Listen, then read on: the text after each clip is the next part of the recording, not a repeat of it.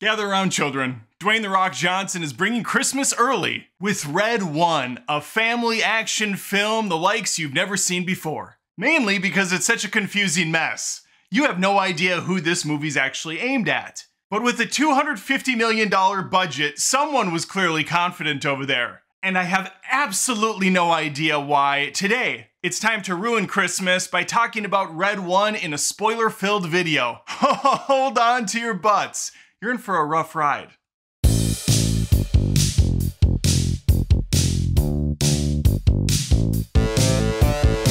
Before I regale you with a tale of Christmas shenanigans, if you wouldn't mind hitting the subscribe and the notification bell so these show up in your feed in the future, I would appreciate it. It is free of charge, and it, it, was, it would be a really nice Christmas present for myself. Let's talk about Dwayne The Rock Johnson, or as he should be known as, Dwayne The Coal Johnson, because that's the type of present I felt like I got after watching Red 1. Joining him is J.K. Simmons, Chris Evans, and Lucy Liu. We have a star studded cast here. I already talked about it in my actual review, but this is a spoiler video going through the story to the best of my recollection and giving some thoughts along the way. So let's waste no further time and dive right into Red 1. The film opens with Jack O'Malley at a Christmas party with his cousins, and we find out right off the bat that Jack O'Malley's a piece of shit. He doesn't give a crap about Christmas. He thinks it's all BS, and he proves it to his fellow cousins by showing them a secret closet that contains all the presents Santa Claus was supposed to deliver. But then one of the adults comes around and says, Hey, listen, jackass, these presents are from the parents. Santa comes later. Everyone knows that. Why is Jack so cynical? Why is he such a garbage child? Mm, I don't know. That he was born that way, I guess. But I have a feeling that before this film's done, Jack O'Malley's to have a change of heart. He's to become someone you could see on the nice list. I guess there's is there a nice list? There's just a naughty list. Otherwise, you're either on it or you're not. And you better believe it, Buster, when I tell you he's on the list. he's on it big time. Four count naughty lister. Four strike. I don't I don't actually know. It's four something. And I don't want to know what that strike count goes up to. What if you murder someone? What if you do something unspeakable? Does it go up to 10? It's unclear. We we do get some lore in this movie. There's definitely building, but it's more surface level to lead us into spin-off movies about the Headless Horseman or Bigfoot or the Loch Ness Monster. We'll get to all that in a little bit. But we set the table, we set the stage, and then we're going to jump forward in time. I don't remember how many years, however long it takes Jack to grow up into Chris Evans, who now has a thick New York accent that's going to shift between different accents as the movie goes. Sometimes he sounds more natural, other times he's like, hey, I'm walking here, forget about it. We are all thrust into the middle of a meet and greet at a local mall where the real Santa Claus, played by J.K. Simmons, is meeting some of the peasants. He likes to get out, get his hands dirty, meet the folks, because that's what it's all about to him. It's about making children happy and parents he, he doesn't discriminate. He wants, because every parent was once a kid. Santa is a huge name. He's bigger than Taylor Swift. So he needs a bodyguard. He needs a whole outfit to protect him. Enter Callum Drift, aka Dwayne the Coal Johnson. He is the right hand man to Santa. He makes sure everything is a well oiled machine. He works for the agency ELF, which some confuse with ELF, but no, it's ELF. I don't remember what it stands for. It doesn't matter. It's an acronym. It's bullshit. But Callum takes his job very seriously. Comically seriously. Like, Dwayne truly believes he's in the Christmas equivalent of an Oppenheimer. The last time I saw Johnson put in this good of a performance, he was a half man, half scorpion CG monstrosity. After Santa takes a couple of requests from the kids to put on the wish list, he heads off to his sleigh, which is really souped up. It's really cool. It's basically what Vin Diesel would roll in if there was a Christmas version of Fast and the Furious. Holy shit, I might have given them the most dangerous idea yet. Could you imagine Fast and the Furious Christmas? Fast and the Furious Xmas? That's what they should have called Fast and the Furious 10. It should have been a Christmas caper. Could you imagine Dom out there with his crew? All right, listen up. Wait, sorry. All right, listen up. Krampus and his gang are gonna try to steal the toys from Santa Claus's workshop. Luda's there. Luda? Woo! Not on my watch. Let's get to work. The music kicks in. Dom hits the nos on the sleigh.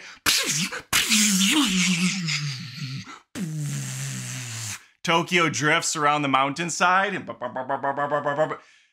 I gotta write the script for this. That's all there is to it. All right, let's keep going with whatever we're talking about. Red one. Oh, red one. Konvict Gaga. We make our way to the North Pole, which is the saddest looking North Pole I've ever seen in my life. Again, over $200 million budget to see a poorly lit CG disgusting scene of uh, some lights and a lot of industrial complex. I was half tempted to go up to the IMAX screen with some Windex. Nope, it's uh it's absolutely no clearer than it was before. Amazing. This is a Dwayne the Coal Johnson movie, so of course we have to hit the gym. There has to be a bench pressing scene at some point, might as well get it out of the sleigh early. Kringle hits the 300 club right out of the gates, and he's gonna add more to this thing, getting up to 560, something like that. He's putting a lot of weight on. And we have established through the lore that cookies are not the source of his fat. They're actually the calories he needs because he's burning so many delivering toys. It just makes sense. After a few minutes at the Iron Temple, Callum informs Santa Claus that uh, he's one day away from retirement. This is it for him. He's hanging up the coat, hanging up the ears. It's time for him to move on to, to bigger and better, whatever that means. What, what else do you even do at the North Pole? What is this giant man? I don't know what he's supposed to be, demigod on uh, at the North Pole. What's he supposed to do with his life? The reason for this is simple. He thinks people are trash. He's not wrong. I'm surprised it took him this long to get there because it's established he's been doing this for hundreds of years. Claus is an actual immortal god and this is his sole purpose deliver presents to children. Adds up. But Caleb's like, ho, ho, hold up. I don't need to keep doing this. I'm only going to take part in one last ride. And they actually say that in this film one last ride. But even though we're in the North Pole, things are about to go south real fast as Callum takes his eyes off the prize and some secret bad guys bust in and steal Santa Claus right from under his nose. Dwayne the Coal Johnson jumps off the side of the tallest building I've ever seen in my life, lands on some slip and slides, and he's trying to chase these dudes down. After several minutes of watching something unfold, it was hard to see because it was so dark. Things end with Drift realizing that Claus was not in the vehicle on the ground. He must have been in the one up in the air. Played him like a bitch. Time to get Zoe on the horn, played by Lucy Liu. Zoe works for a secret shadow agency who keeps an eye on all the mythical, magical creatures and things out there, such as Loch Ness Monster, Bigfoot, Headless Horseman, Santa Claus, Easter Bunny, everything. They have their hands in a lot of different honeypots. So when Zoe finds out that the red one has been Kringle napped, she's not happy, and they need to figure out who was responsible for this. All roads point to Jack O'Malley. Jack infiltrated this organization by going to a college campus, setting a gazebo on fire, which caused a distraction, headed into some tech department area, put in a little tracker, I don't know what it is, some sort of thing that can read the data, and then he's able to hack into a satellite which pinpoints disturbances up at the North Pole. I got that maybe 30% correctly, but it doesn't really matter. The whole point here is Jack is good at lying, deceit, and hacking into things. He's a jack of all trades, you could say. Subscribe. After getting wired a large sum of cash, he heads back to his apartment only to find out there's a bunch of people waiting for him. And they have these weapons that freeze people on impact. So Jack does a little bit of fighting.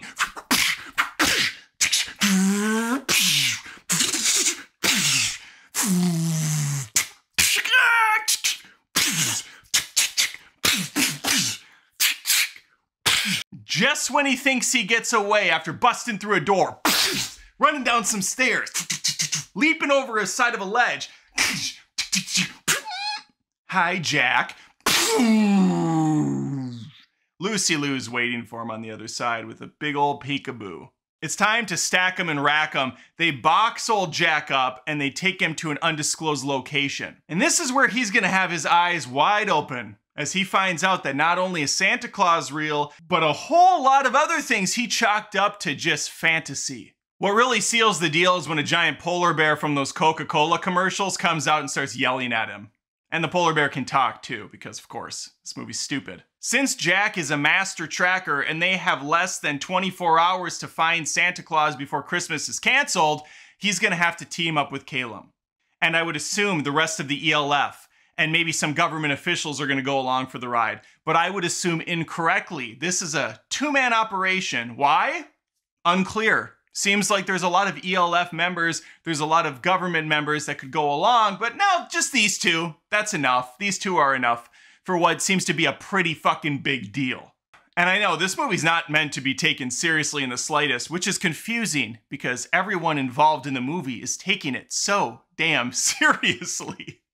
That's what makes this so funny and awkward to talk about. It's like, why did they go this route? Why is it not more humorous? Why isn't it more playful? Why doesn't it have more of an Austin Powers Zoolander vibe to it? Dwayne the Coal Johnson acts like he's going for an Academy Award here. He's so freaking invested in this performance. All right, now that the plot is securely laid at our feet and the rest of the movie is going to be a globe-trotting affair where our two leads are going to pretend they go to locations which are clearly just sound stages and green screens for the rest of the film. This includes going to a beach that contains only attractive looking women that appear to be AI generated. Uh, wild stuff happening on this beach. It also has three giant snow monstrosities that they have to fight. One is a stupid little bowler hat. Uh, they all have a little bit of their own unique characteristics. This fight scene's not good because we learn of Dwayne the Johnson's fighting style, which is that of Ant Man. He has a little thing on his wrist, beep, beep, beep, beep, makes him go small, shrink down, and then he can pop back up. It's like, honey, I shrunk the kids, and then, honey, I blew up the kid. Remember that chestnut? So we have a fight with the snowman, and Drift is like,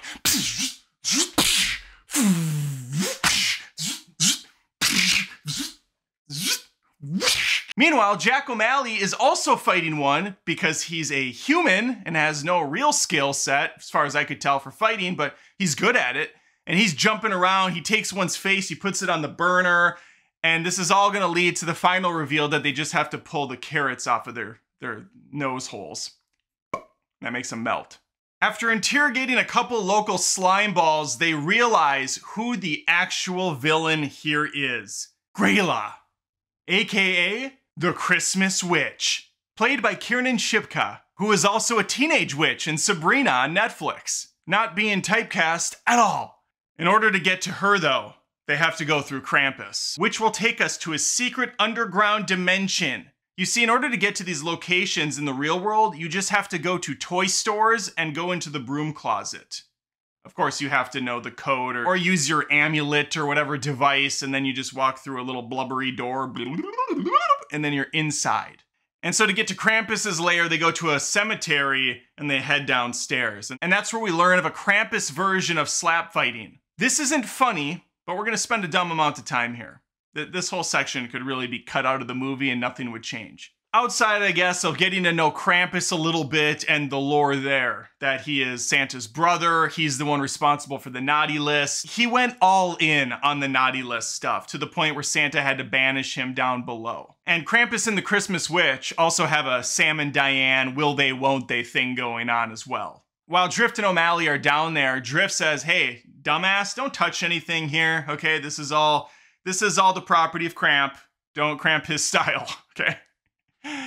Jack doesn't listen. He's basically the monkey from Aladdin. He grabs some gold, puts it in his pocket, saves it for later, and bam, instantly that triggers the alarm, as, as one does. Krampus is not thrilled, but O'Malley convinces him to have a slap fight against Drift. Hilarity ensues. For, for someone, maybe. This feats of strength is about on par with Tyson versus Paul. Dwayne The Rock Johnson gets the upper hand when he reaches for one final smack. O'Malley puts his little bracelet thing back on. and he slaps the shit out of Krampus, which Krampus is a god, so it doesn't do much of anything, but it gives them time to flee. After a mediocre fight, they head back upstairs. But they don't get far when they see a piano in an open road, and there's a little gift box on top. And this is going to reveal the true intentions of the Christmas Witch. This is an artifact, which looks like a snow globe, to be fair. It's called something else, I don't care. But these items are going to be delivered to all the naughty folks across the globe, and once they open it, they are sucked inside for all of eternity, now part of the Christmas Witch's collection. This is going to be a problem for Jack because not only has he received one of these globes, but his son has as well. Oh, yeah, that's right, he has a son. he also has an ex wife who's the waitress from Always Sunny in Philadelphia. I guess I forgot this little side quest that he goes on. Yeah, he's got he's not a good dad. He's never there for his son. But when the chips are down and the stakes are high, he's gonna be present. And his son has now been sucked into one of these globes as the first victim. O'Malley, not missing a beat, jumps into his own globe and is now sitting next to his son, imprisoned for presumably all eternity. The end. Uh, no, Caleb Drift is going to find a way to save them because it dawners upon him that holy shit, I was played like a fool. They never even left the North Pole. Santa was never taken away, which causes him to phone back home and relay the message that the North Pole has been taken. The North Pole has been compromised. Try saying that with a straight face. Dwayne Johnson does the whole time. He realizes that's where they have to be at because the only place where you could manufacture that many globes that quickly. So he heads back there, realizing that the ELF has been taken over by copycats. They're clone creatures in disguise. This movie's got a lot going on. And he's gonna fight his way downstairs after freeing Mrs. Claus and some of the other members of his team. And there he's gonna see O'Malley and his son already outside of their globes. What? O'Malley evolved as a Pokemon. In just a few minutes, he discovered that he's a trash father and he needs to do better, and he promises that he will. And just like that, beep, beep, beep, boop, boop, boop, beep, he's out of his cell. Oh, I don't know why his son was ever really imprisoned to begin with. I guess the sins of the father, the sins of the son sort of a situation, but they're both out. Actually, to be fair, O'Malley's kid was kind of trash too. I guess they both learned a lesson along the way. Oh, I said he was going to. Isn't that fun? What a foreshadow. We are now at the final boss of the film. Christmas Witch goes into her true form, which is a giant CGI thing I can barely make out because the last 20 minutes is almost incomprehensible. So hard to see what's happening. Everything is indistinguishable at this point. There's a sleigh ride where the Coal jumps on, O'Malley jumps on. Again, O'Malley's human. Somehow he's able to hang on to this fucking thing. He falls off of it at one point, doesn't get a scratch on him. This is Christmas fun for the whole family. Doesn't matter. And just as Grayla is about to body them, in comes her old fling, Krampus. He jumps into the mix, goes down into a hero pose, immediately gets decimated. You know, that's a pet peeve of mine in movies when they build up a character to be a badass and then they finally show up and they get into this awesome stoic pose. The music's like and then they just get taken out right away. Come on! You have one job build them up and pay it off. After some back and forth song and dance fighting, Chris Kringle, who has been freed from his prison but incredibly weak, he's drained of his power, he has recovered during the downtime, and now he can take on Grayla and finish her off once and for all, knocking her over the side of the bridge where she's like, ah, I'll see you in the sequel that we won't get because this movie's bombing. I hate my life. Well, they killed the witch. But did they save Christmas?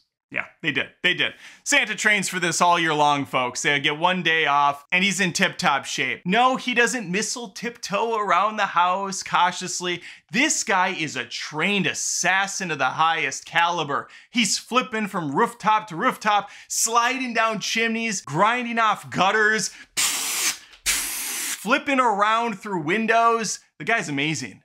Really would have liked to see more of this. This could have been the movie. I would have been all in. It's hard to see still because of the, you know, horseshit lighting, but it was kind of cool. Naturally, Caleb and Jack O'Malley are along for the ride on the sleigh with Jack's kid, baby Jack, little Jack, Jack Jack. And wouldn't you know it, Caleb realized that there is good in people still. After seeing this dirt bag douche toilet nozzle pile of ass that is Jack O'Malley able to turn it around, yeah, there's good in people. He just needed to see it again. And so our heroes fly off into the sunset, and into the sequel that we won't get because, again, this movie's not going to make its money back.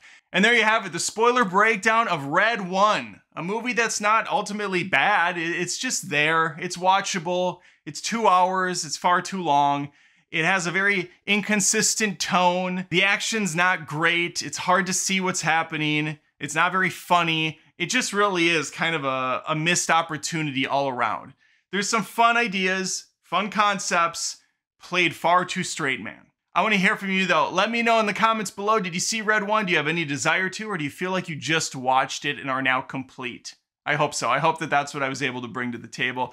Please think about liking the video and subscribing to the channel. I post reviews, spoiler rants, live streams every single week. Would love to have you stick around, and I'll see you next time. Take care.